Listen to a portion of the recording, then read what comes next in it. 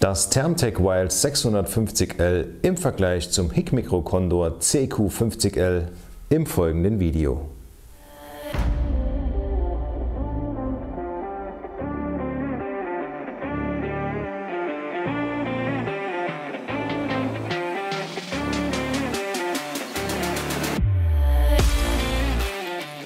Das Thermtec Wild 650L und das Hick Micro Condor CQ50L verfolgen beide das gleiche Konzept. Eine 50er Linse, ein 1024er Display, 18650 Akkus, 12er Pitch, 640er Sensor und ein Laserentfernungsmesser. Es gibt rein aus den technischen Daten nur sehr geringe Unterschiede bei der Sensorsensitivität, dem Sehfeld und der optischen Vergrößerung.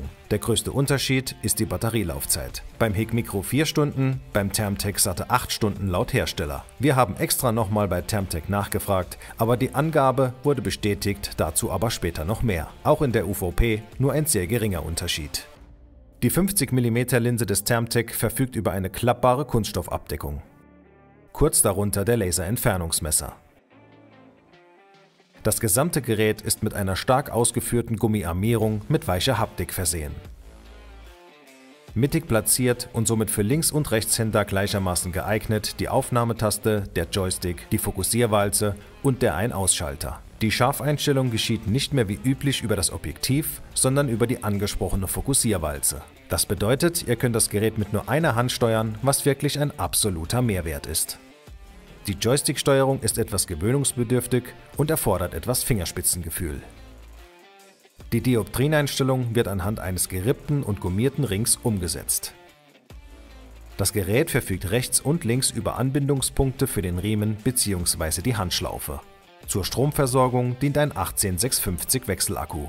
Laut Hersteller soll ein Akku 8 Stunden durchhalten, wobei das immer von der Außentemperatur und internen Einstellungen abhängig ist. Seitlich ein USB Typ C Anschluss und auf der Unterseite ein Stativgewinde zur festen Montage und somit wackelfreien Beobachtung.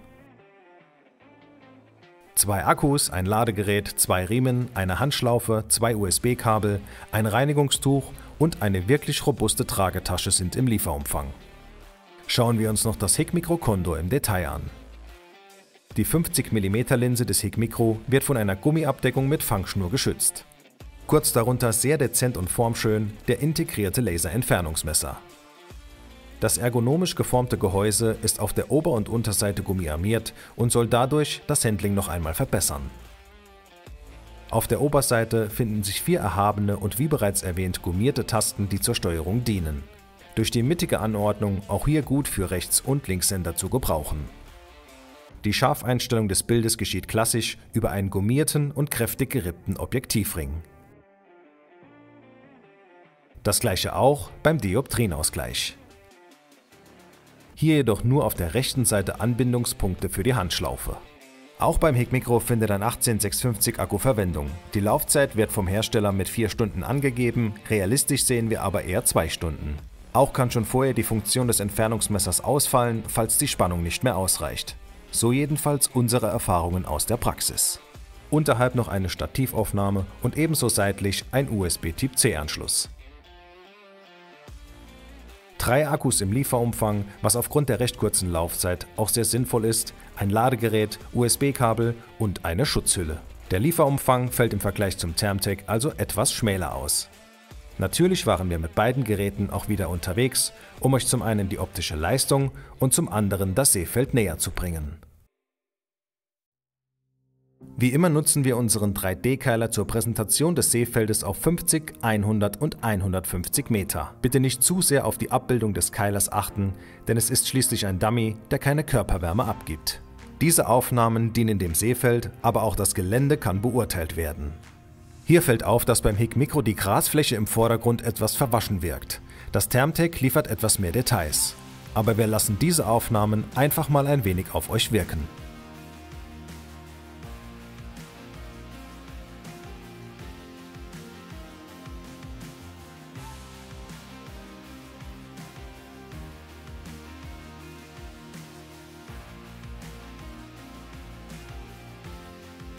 Ein Kolbenhirsch auf etwa 40 Meter.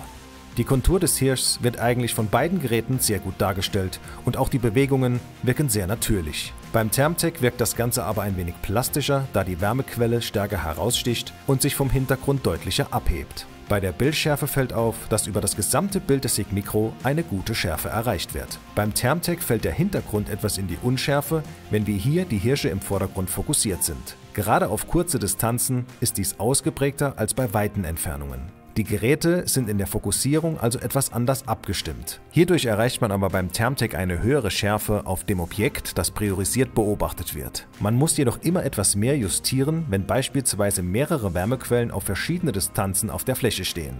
Hier auf etwa 70 Meter wird die etwas bessere Bildschärfe nochmals deutlich. Das Wurzelwerk, Gräser, Erhebungen und Vertiefungen werden beim Thermtec plastischer dargestellt.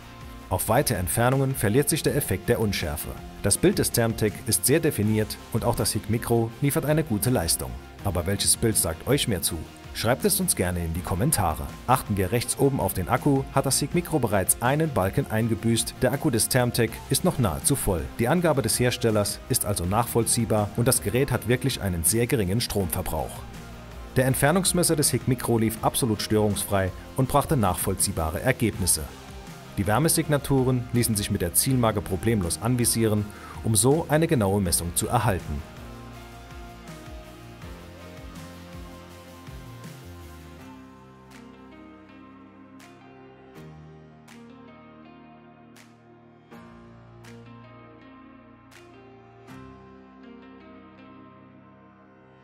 Auch das Thermtec-Gerät ließ, was die Entfernungsmessung anging, keine Wünsche offen.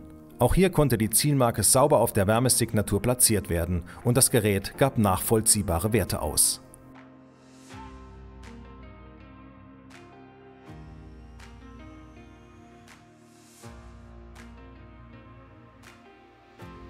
Wer ein Wärmebildgerät mit hoher optischer Performance und integriertem Entfernungsmesser sucht, wird bei Thermtec oder Higmicro fündig.